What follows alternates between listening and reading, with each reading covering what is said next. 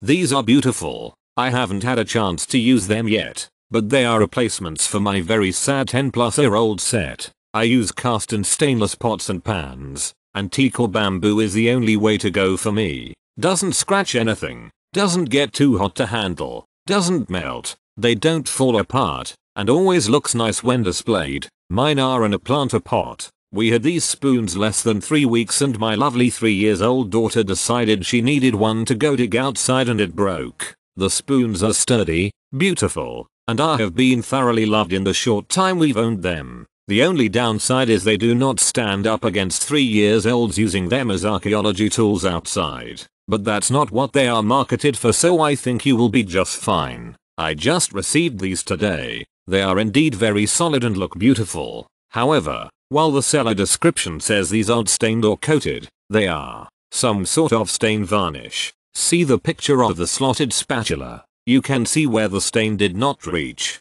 It's a bit concerning since the seller does not disclose this and what chemical the stain is. There was mold growing on half of the utensils. I ordered a replacement set because, other than there being mold growing on the spoons, the set does looks really nice. If the replacement is not perfect, I will be returning for a refund initial rating. 1 star update as of the 19th of May 2020 I ordered a replacement set, and they arrived in very good condition. I am happy with them. I am also extremely pleased with the seller's customer service. I would order from this seller again new rating. 5 stars.